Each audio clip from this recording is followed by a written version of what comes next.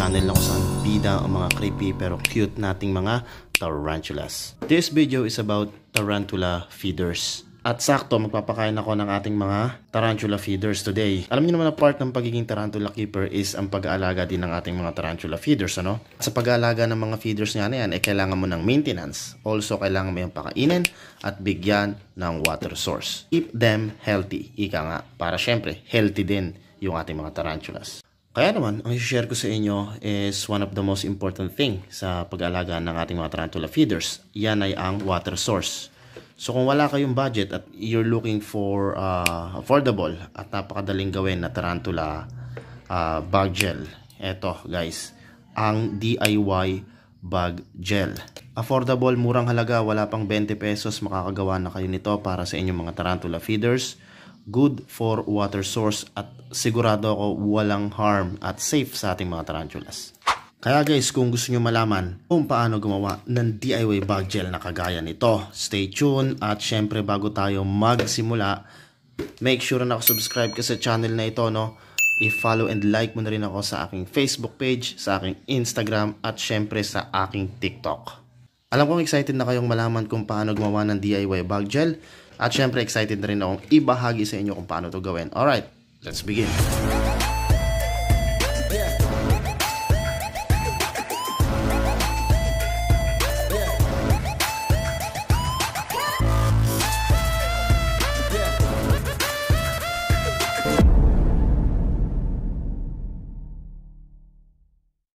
Since ako ngayon ay magpapakain ng aking mga tarantula feeders na kagaya nitong mga to, gagawa na rin tayo ng ating DIY bug gel.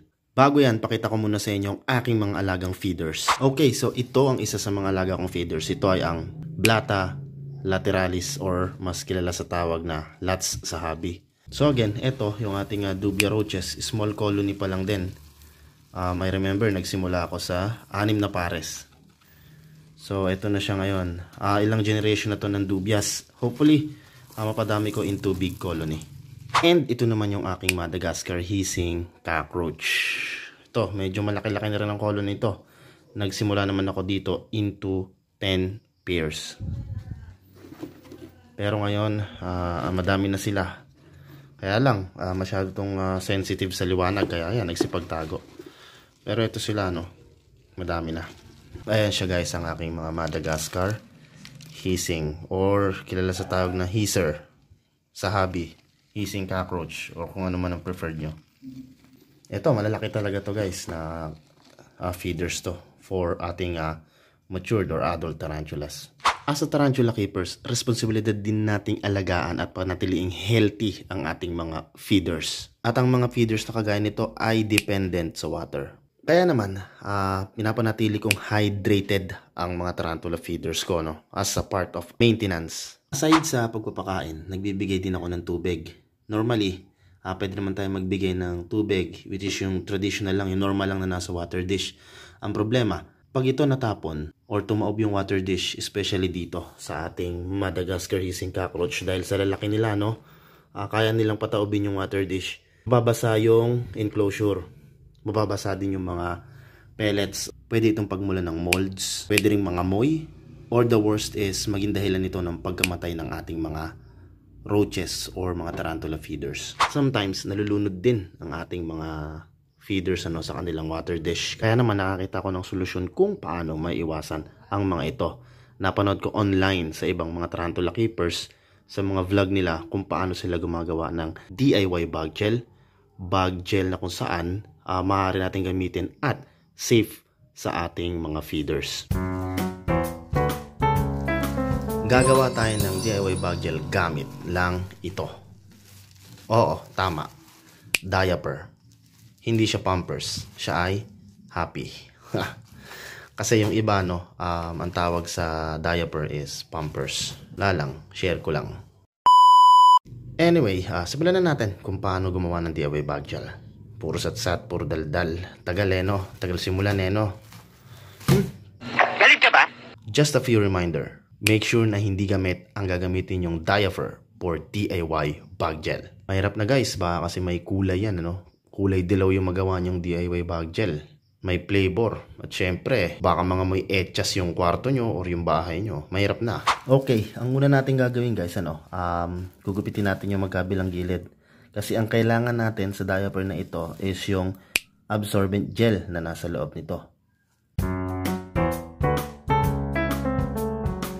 Bubulat-latin nyo lang siya, no? Bubulat-latin, bubukahin, wawarakin, yuyurakan ng pagkatao.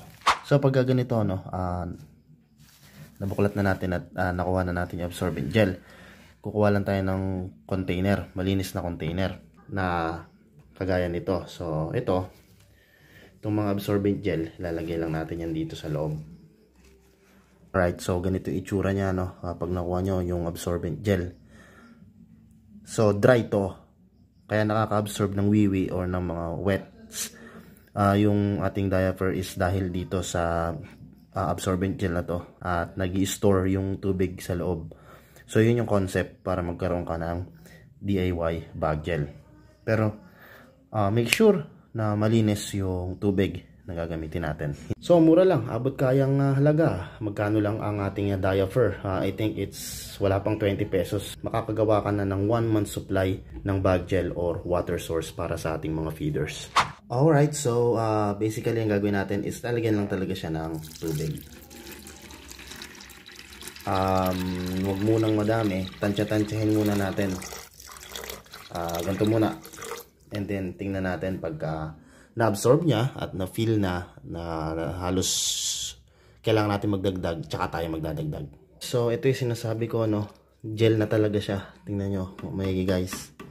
Pero may mga parang solid pa at kulay puti ang kailangan natin is hindi yung ganito ka um, buo kailangan medyo watery siya or halos nagtutubig okay so ayan mapansin niyo yan yung ating uh, ah, DIY bag gel okay lalagyan pa natin siya ng tubig so, tingin ko ay eh, kulang pa again uh, nung nilagyan natin ng tubig uh, ganito siya medyo buo-buo pa. So, kailangan pa niya ng tubig. Okay, dadagdagan pa natin. Okay, so pwede naman na yung uh, gel na talaga siya na medyo solid or buo-buo. Pero ito yung gusto nating ma-achieve ano, yung uh, ayan, halos nag-hold siya ng tubig at makikita mo talagang may tubig. Ito. dahil gawa na ang ating DIY bag gel uh, ready na at pwede na natin itong ibigay sa ating mga feeders uh, as a good water source so kung magtatanong kayo kung um, healthy ba to or hindi ba to harmful may chemicals ba to na makaka-apekto sa ating uh, mga feeders well I'm not sure pero since ito ay popular sa hobby na ginagawa talaga as a water source ng mga feeders I think it's safe naman ano Uh, kasi kung meron tong masamang epekto, well, shinare na ng mga naunang Tarantula Keepers. So, thank you dahil nag-share ng idea yung mga nauna sa atin. Okay, so dito sa Madagascar Hissing Cockroach, naglalagay lang ako dito sa uh, bakanting ito ng mga feeds. Ito ay uh, feeds ng manok. Ang disadvantage lang nito, no, uh, pag hindi nila naubos itong pagkain na ito is inaamag. Kaya make sure na hindi overloaded or dapat tansya nyo kung ano lang yung kayang ubusin ng inyong tarantula feeders. Also, kapag ito ay nabasa, nabubulok, bumabaho. Okay, so yun yung iniiwasan natin kaya gagamit tayo ng bag gel. Okay, so ito yung uh, ginawa nating DIY bag gel. And siya. Okay, so nakita nyo, um, hindi siya um, tubig talaga, no? At saka mabigat hindi siya basta-basta tataob. Alright, so good water source ito, no? Kung naghahanap kayo ng uh, bug gel na madaling gawin at mura. Ito naman guys, yung aking Dubia roaches. Madalas ko ipakain dito, ano, yung carrots.